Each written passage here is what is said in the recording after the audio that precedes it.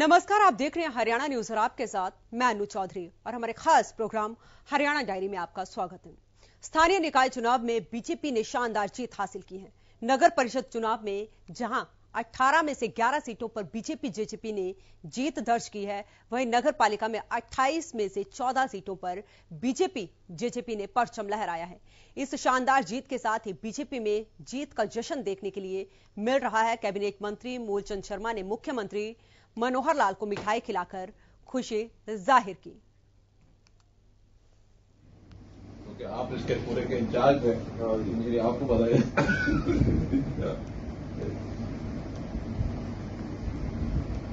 धन्यवाद।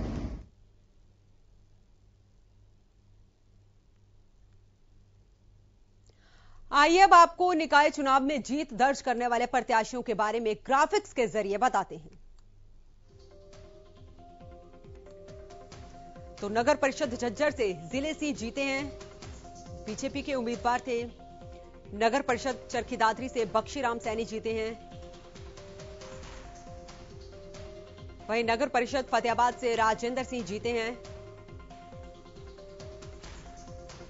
नगर परिषद सोहना से अंजू देवी जीती हैं। नगर परिषद जींद से अनुराधा सैनी जीती हैं। नगर परिषद बहादुरगढ़ से सरोज जीती हैं। नगर परिषद कैथल से सुरभि गर्ग जीती हैं। नगर परिषद कालका से कृष्णलाल लांबा जीते हैं। नगर परिषद गोहाना से रजनी विरमानी जीती हैं। नगर परिषद नरवाना से मुकेश रानी जीती हैं। नगर परिषद पलवल से डॉक्टर यशपाल जीते हैं। नगर परिषद नूह से जेजेपी के संजय कुमार जीते हैं। नगर परिषद होडल से इंद्रेश कुमारी जीती हैं, निर्दलीय उम्मीदवार थी।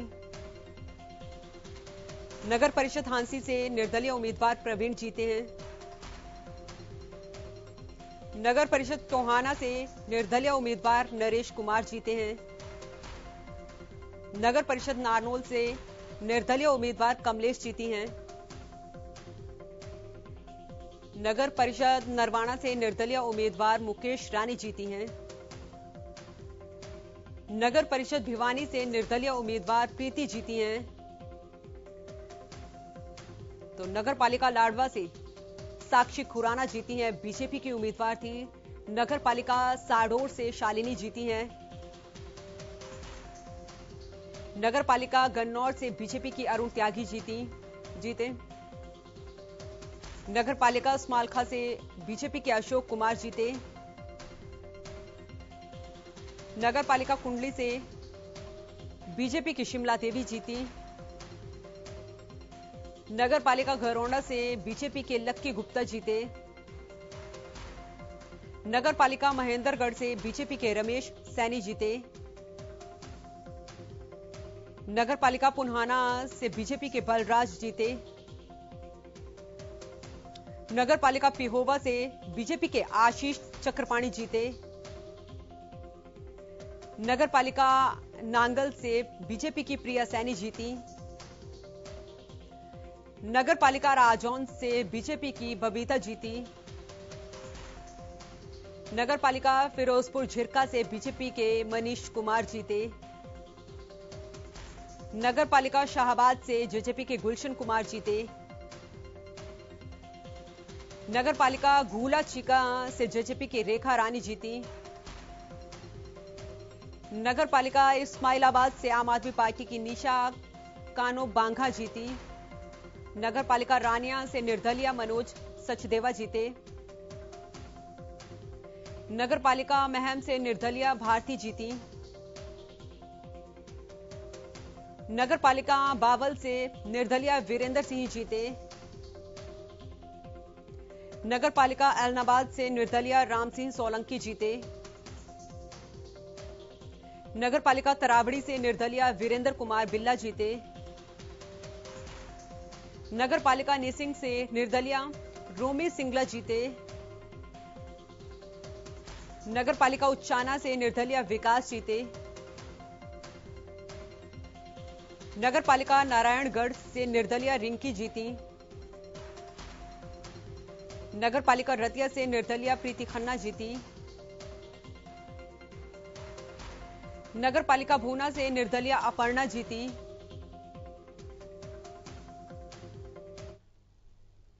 निकाय चुनाव में बम्पर जीत पर हरियाणा बीजेपी प्रदेश अध्यक्ष ओपी धनखड़ काफ़ी गदगद दिखाई दिए। उनसे खास बातचीत की हमारे सहयोगी सुशील सिंह ने। क्या कुछ कहा? उन्होंने आइए आपको भी सुनवाते हैं। हरियाणा में छोटी सरकार भी अब बीजेपी की बन गई है और हमारे साथ हरियाणा के प्रदेश अध्यक्ष भारतीय जनता पार्टी के ओम प्रकाश धनखड़ जी हैं। सर, सबसे पहले आपको बहुत बहुत बधाई। काफ़ी टफ था। आज रिज़ल्ट आए। मैं सैल्यूट करता हूँ हरियाणा की जनता को। उनका जो आशीर्वाद जो मतदाताओं का आशीर्वाद हमको मिला है मैं आभारी हूँ कृतज्ञता व्यक्त कर रहा हूँ। बहुत ही मैं कहूँगा कि जनता ने हमको थोक में आशीर्वाद दिया है। अभी तो ये अंगड़ाई है अभी और भी इसी चुनाव और भी हैं निगम के चुनाव हैं पंचायत के चुनाव हैं। देखिए निश्चित रूप से चुनाव अपने आप में लड़ना एक कौशल भी है और एक विज्ञान भी है और भारतीय जनता पार्टी चुनाव लड़ना जो है बहुत समय से तय करती है और भारतीय जनता पार्टी मैं कहूँगा कि हमारे कार्यकर्ता बहुत नीचे तक जाके चुनाव में परिश्रम करते हैं। तो कार्यकर्ताओं के परिश्रम और पुरुषार्थ को मैं प्रणाम करता हूँ। उनके कारण से इतनी अच्छी विजय हमको हासिल हुई। मुझे लगता है कि जब आप लोगों ने सिंबल पर लड़ने की सोची थी और फैसला किया था उस वक्त, ये पता नहीं था कि कांग्रेस इसमें नहीं है। और जब कांग्रेस सिंबल पर नहीं लड़ी तो ये कितना टफ था। बड़ा कठिन था कि अकेले चुनाव में जाना, अकेले लड़ना। नहीं, वास्तव में हमने इस पे विचार करना पड़ा। 28 को हमारी इलेक्शन कमेटी बैठी थी, एक तारीख को दोबारा से हमारी इलेक्शन कमेटी को बैठना पड़ा कि हम एक तरह से अकेले मैदान में रह गए हैं। तो क्या रहें क्या? लेकिन बाद में सबको लगा कि तैयारी बहुत अच्छी हमने की हुई है अकेले हैं तो भी कोई बात नहीं। और वो नाना रूपों में आएँगे ही आएँगे अपना सिंबल छिपा के आएँगे आने तो वाले हैं तो इस नाते से फिर हम गए और जनता का आशीर्वाद हमको मिला। जो तैयारी थी तैयारी का आपने ज़िक्र किया अब विकास की बात आती है दायित्व की बात आती है थोक में वोट तो मिल गए लेकिन अब दायित्व है डेवलपमेंट का उसको लेकर क्या कुछ प्लानिंग है? देखिए पिछले आठ सालों में खुले में सोच मुक्त हुए हैं हमारे शहर और गाँव। स्वच्छता का स्तर बढ़ा है। स्वच्छता के प्रतिस्पर्धाएँ होने लगी हैं। आप देख रहे हो कि ब्यूटिफिकेशन बढ़ा है। जितने भी ऐसी जगह थी, जिन स्थानों पर कुछ ना कुछ हमारी कल्चर को दिखाया जा सकता है, मैं सब नगरों में देखता हूँ, उस जैसे जैसे पानीपत से निकलो, चाहे करनाल से निकलो, चाहे रोहतक से निकलो। हर शहर में मैं देख रहा हूँ कि सौंदर्यकरण बढ़ रहा है। स्मार्ट सिटी का कंसेप्ट आया है। और लोगों की जागरूकता भी बढ़ी है। तो उसके कारण से मुझे लगता है कि जो एक कंसेप्ट है पूरी दुनिया में लाइबल सिटी कि जीने योग्य शहर कौन से हैं? तो आने वाले समय में इस लेवल पर भी हम आगे बढ़ेंगे और ये तय हुआ करेगा कि किस शहर में जाके रहना सबसे अच्छा है।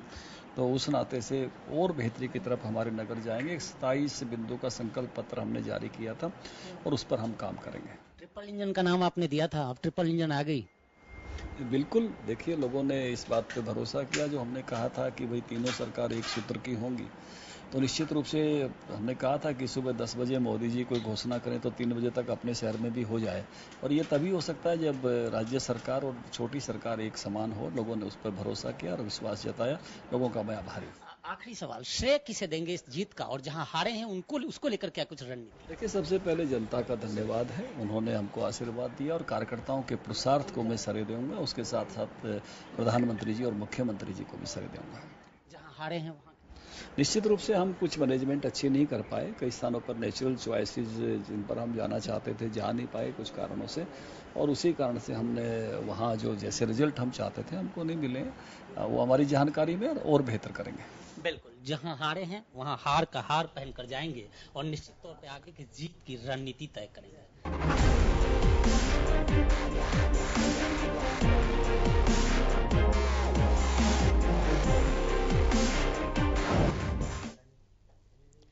कहते हैं सपने पूरे करने के लिए कोई उम्र नहीं होती है। और इस बात को गुजरात के बड़ोदरा में आयोजित राष्ट्रीय ओपन मास्टर्स एथलेटिक्स चैंपियनशिप में हरियाणा की एक 105 साल की महिला ने 100 मीटर रेस में दो गोल्ड मेडल जीतकर सच कर दिया। उम्र का शतक पूरा कर चुकी परदादी ने 100 मीटर रेस पैंतालीस दशमलव चार शून्य सेकंड में पूरी कर नया रिकॉर्ड कायम किया। ये रिपोर्ट देखिए।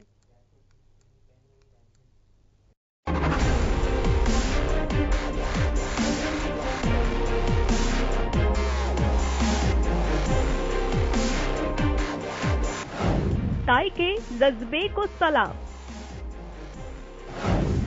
105 साल की उम्र में मिला नया मुकाम। दादी की दौड़ में दिखी हौसलों की उड़ान। हालात से हारे तो हौसलों ने संभाला। ढलती उम्र में सपनों को सवारा। ना सपने देखने की कोई उम्र होती है, ना उन्हें पूरा करने की। तीन साल की उम्र में अगर पहाड़ चढ़ा जा सकता है तो 105 साल की उम्र में रेसलिंग करने का शौक भी हिंदुस्तान की मिट्टी से उगता है। खेलों में बेमिसाल रहे हरियाणा के खिलाड़ियों ने एक और कमाल करके दिखाया है। युवाओं का जोश तो खेल के कई मैदान पर आपने देखा होगा, लेकिन दादी की यह दौड़ लोगों को उम्मीद और सीख दे रही है कि उम्र का पड़ाव ठहराव नहीं होता। हरियाणा के चरखी दादरी की रहने वाली 105 साल की रामबाई ने नया रिकॉर्ड कायम किया है। गुजरात के बदौदरा में आयोजित हुई राष्ट्रीय ओपन मास्टर्स एथलेटिक्स चैंपियनशिप में रामबाई जी ने 100 मीटर दौड़ को रिकॉर्ड समय में पूरा किया। 105 साल की जुनूनी महिला ने 100 मीटर की दौड़ महज पैतालीस दशमलव चालीस सेकेंड में पूरा कर लिया। इससे पहले यह रिकॉर्ड 2017 में 101 साल की मान कौर के नाम था, जिन्होंने चौहत्तर सेकंड में रेस पूरी की थी। 2022 में रामबाई ने पैतालीस दशमलव चालीस सेकेंड में रेस पूरी की। 2017 में मानकौर ने चौहत्तर सेकंड में रेस पूरी की।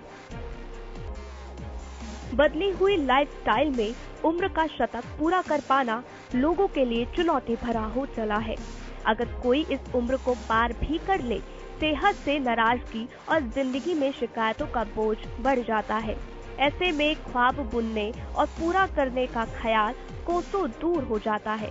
लेकिन मिसालें ऐसी ही मुश्किलों से गुजरकर बनाई जाती है, जो 105 साल की रामबाई ने दी है। हरियाणा की इस रामबाई ताई के हौसले को मुख्यमंत्री मनोहर लाल ने भी सराया है।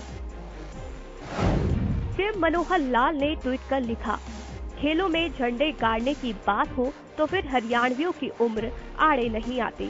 फिर चाहे हमारे बच्चे हो, युवा या सौ साल पार के बुज़ुर्ग। 105 वर्ष की आयु में ताई रामबाई जी ने 100 मीटर दौड़ रिकॉर्ड समय में पूरा कर बदौडरा में प्रदेश का झंडा बुलंद कर दिया है।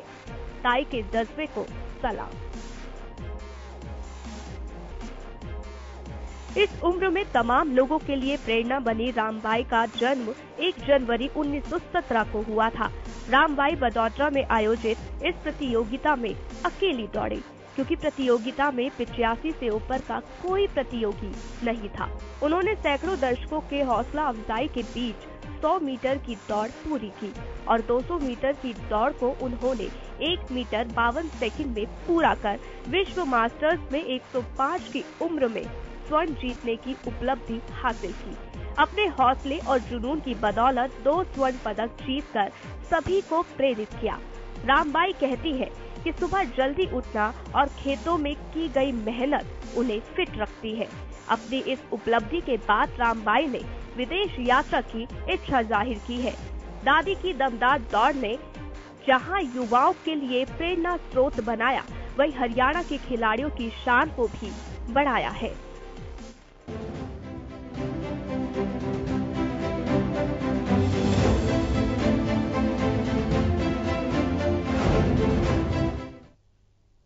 हरियाणा के किसानों को प्रोत्साहन देने के लिए सरकार ने दलहन और तिलहन की फ़सलों पर प्रोत्साहन राशि देने की योजना तैयार की है। ये रिपोर्ट देखिए।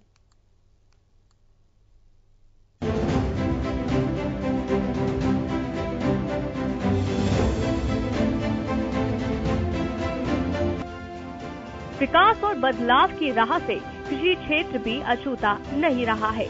हरियाणा के किसानों को ज़्यादा मुनाफा देने के लिए सरकार लगातार किसानों को प्रोत्साहित कर रही है।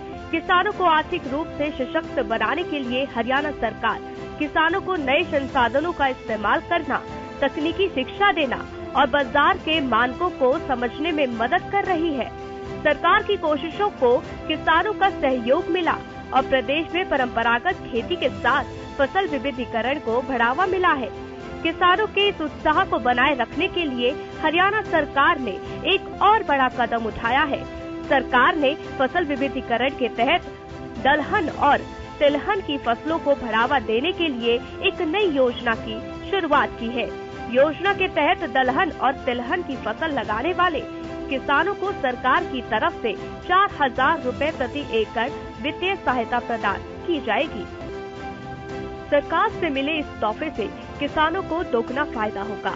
इस योजना से जहाँ किसानों की आय दोगुनी होगी, वहीं किसानों की पैदावार पर भी इसका सीधा असर पड़ेगा। जैसे कि किसान पारंपरिक खेती के तहत धान, गेहूँ की बिजाई की जगह फ़सल विविधीकरण को अपनाकर उपलब्ध प्राकृतिक संसाधनों के अधिक दोहन को कम किया जा सकता है। साथ ही साथ इससे आमदनी में भी बढ़ोतरी कर सकते हैं। इसके साथ ही पैंसठ से 70 प्रतिशत सिंचाई जल की भी बचत होती है। फ़सल विविधीकरण से कार्बन का संचय एवं वृद्धा की उर्वरा शक्ति बनी रहती है। इससे फ़सल से संबंधित कीटों एवं रोगों के रोगजनक प्रभाव को नियोजित किया जा सकता है। सरकार की इस पहल से इस साल के खरीफ सीज़न में एक लाख एकड़ में दलहनी और तिलहनी फ़सलों को बढ़ावा मिलेगा। सत्तर हज़ार एकड़ में मूंग और अरहर की पैदावार संभव। तीस हज़ार एकड़ में संभव अरंड और मूंगफली की पैदावार। इस योजना को दक्षिण हरियाणा के सात जिलों से शुरू किया जाएगा। रेवाड़ी, भिवानी, चरखी, दादरी, महेंद्रगढ़, झज्जर, हिसार और नूह के किसानों को इसका सीधा फ़ायदा मिलने वाला है। सरकार की इस योजना का लाभ लेने के लिए किसानों को पहले मेरी फ़सल, मेरा ब्यौरा पोर्टल पर पंजीकरण कराना होगा और वेरिफिकेशन के बाद ही सहायता राशि किसानों को मिल पाएगी। फ़सल विविधीकरण को बढ़ावा देने का फैसला, भूमि की उर्वरता को बनाए रखने की दृष्टि से भी महत्वपूर्ण है।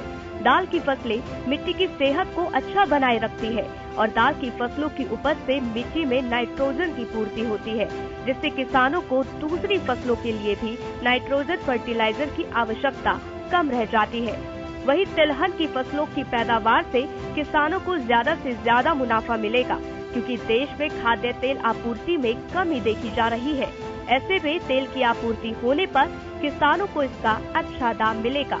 दलहन और तिलहन की अधिक पैदावार के लक्ष्य के साथ आगे बढ़ रही सरकार किसानों को नए और अच्छी गुणवत्ता वाले बीजों की जानकारी दे रही है। फ़सलों का विविधीकरण मौजूदा समय की ज़रूरत है और इस ज़रूरत को पूरा कर किसान अपने लिए बेहतर अवसर तलाश सकते हैं।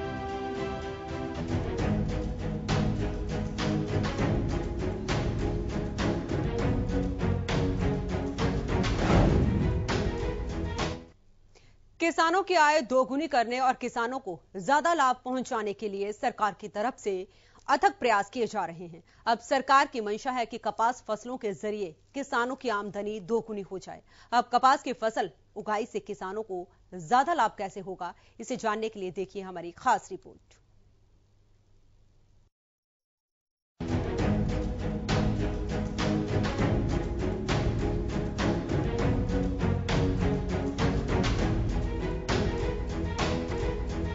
हरियाणा में किसानों की आर्थिक स्थिति बेहतर करने के लिए सरकार की ओर से कई तरीके की योजनाएँ चलाई जाती है।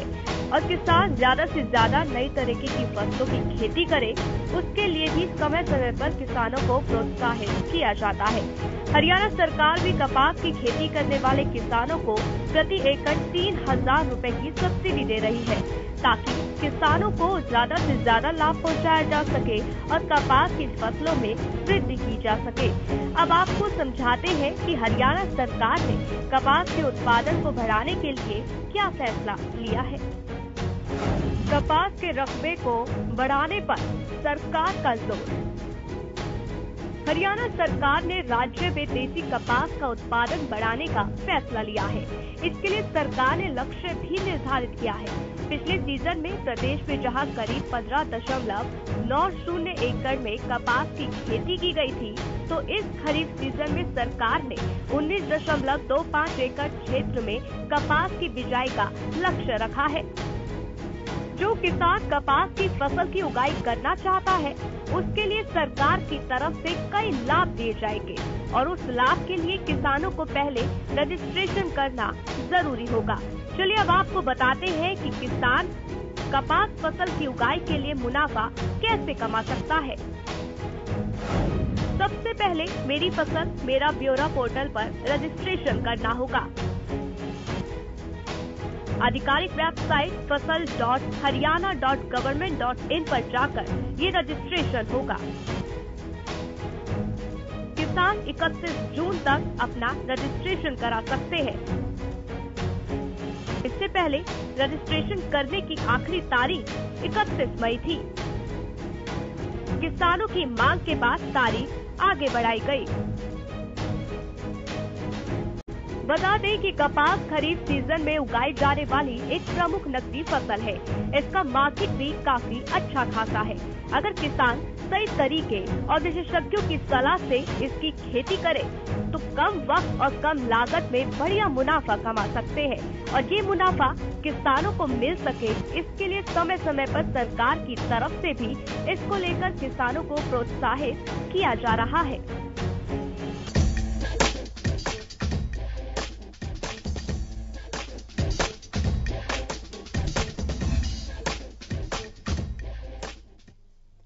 मुख्यमंत्री ने खेलो इंडिया यूथ गेम्स के बाद अधिकारियों के साथ समीक्षा बैठक की और प्रदेश में खेलों को बढ़ावा देने के लिए कई अहम फैसले लिए।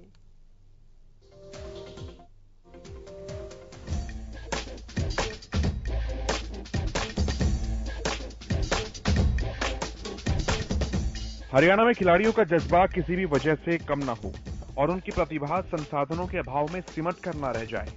इसका ख्याल हरियाणा सरकार बखूबी रखती है। खिलाड़ियों को प्रोत्साहित करने के लिए हरियाणा सरकार खेल अकादमी की संख्या बढ़ाने का काम कर रही है। हरियाणा के मुख्यमंत्री मनोहर लाल ने अधिकारियों को हरियाणा खेल अकादमी की स्थापना के काम में तेज़ी लाने के निर्देश दिए हैं, ताकि देश भर से आने वाले खिलाड़ियों को यहाँ बेहतरीन प्रशिक्षण दिया जा सके। मुख्यमंत्री ने बुधवार को खेलो इंडिया यूथ गेम्स 2021 की समीक्षा बैठक की। इस दौरान मुख्यमंत्री ने अधिकारियों को निर्देश देते हुए कहा कि हरियाणा में बनाया जा रहा खेल पुनर्वास केंद्र देश में ये उदाहरण स्थापित करेगा कि हरियाणा न केवल अपने खिलाड़ियों को सर्वश्रेष्ठ खेल सुविधाएँ प्रदान करता है, बल्कि चोटिल होने के कठिन दौर में उनका सहयोग भी करता है। मुख्यमंत्री ने पुनर्वास केंद्र के लिए प्रबंधन को तत्काल आउटसोर्स करने के भी निर्देश दिए। बैठक में खेल से जुड़े कई विषयों पर चर्चा हुई तो पाया गया कि खेलो इंडिया यूथ गेम्स 2021 में हरियाणा हर क्षेत्र में चैंपियन रहा, लेकिन तैराकी एथलेटिक्स और जिम्नेटिक्स के लिए उपलब्ध बुनियादी ढांचे के विशेष बढ़ोतरी की ज़रूरत है। ऐसे में सीएम ने अधिकारियों से कहा कि राज्य में अंतर्राष्ट्रीय मानकों को पूरा करने वाले ऑल वेदर स्विमिंग पूल का निर्माण किया जाए, ताकि खिलाड़ी साल भर प्रैक्टिस कर सकें। उन्होंने कहा कि इस तरह एथलेटिक्स और जिम्नास्टिक्स इनके लिए उपयुक्त सुविधाएँ सुनिश्चित की जाएँ ताकि राज्य में इन खेलों को भी बढ़ावा दिया जा सके। इसके साथ ही मुख्यमंत्री ने अधिकारियों को निर्देश दिए कि अधिकारी उन कंपनीज़ के साथ सहयोग करें जो खेल को बढ़ावा देने के लिए सीएसआर फंड उपलब्ध कराने में दिलचस्पी रखती हों। खिलाड़ियों के लिए प्रोत्साहन का सिलसिला यही नहीं थमा। मुख्यमंत्री ने अधिकारियों को खेलो इंडिया यूथ गेम्स की तर्ज पर हर साल राज्य स्तरीय खेलों का आयोजन करने के भी निर्देश दिए। सीएम ने कहा, ऐसे आयोजन खिलाड़ियों को बेहतर प्रदर्शन करने के लिए, प्रेरित करने के साथ साथ उन्हें अंतर्राष्ट्रीय खेल आयोजनों के लिए भी तैयार करेंगे। बैठक में खेल मंत्री सरदार संदीप सिंह ने मुख्यमंत्री को अवगत कराया कि नूह ज़िले के युवाओं में खेलकूद की अपार संभावनाएँ हैं। जिन्हें खेल गतिविधियों में शामिल करके आगे बढ़ाया जा सकता है। इसके बाद मुख्यमंत्री ने नूह ज़िले में एथलेटिक ट्रैक और व्यायामशाला स्थापित करने के अवसरों का पता लगाने का कहा, ताकि इस क्षेत्र में युवाओं की छिपी क्षमता को बढ़ाया जा सके। खेलो इंडिया के सफल आयोजन के बाद सरकार आगे भी खेलों को बढ़ावा देने के लिए निरंतर प्रयास कर रही है।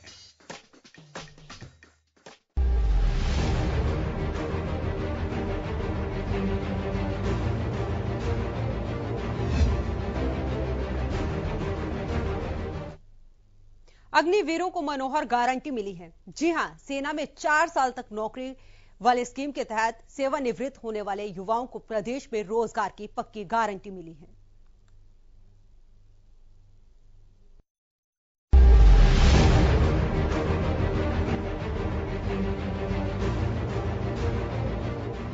दूर होगा भ्रम, समझेगा युवा मन। छटेंगे दुविधा के बादल। मनोहर गारंटी से सुरक्षित हुआ कल। युवाओं की सोच राष्ट्र निर्माण करने का काम करती है। ऐसे में युवाओं का भविष्य को लेकर आशंकित रहना दुविधा भरा हो सकता है। युवाओं को भविष्य की चिंता से मुक्त करने के लिए हरियाणा के मुख्यमंत्री मनोहर लाल ने युवाओं को गारंटी दी है। ये गारंटी है रोज़गार की, सुरक्षित भविष्य की जो युवा इन दिनों केंद्र सरकार की अग्निपथ योजना को लेकर खफा दिखाई दे रहे थे। उन्हें सुरक्षित भविष्य को लेकर आश्वस्त करने के लिए मुख्यमंत्री मनोहर लाल ने योग दिवस के मौके पर बड़ी घोषणा की। सीएम ने कहा, सेना में नौकरी करना गौरव की बात है।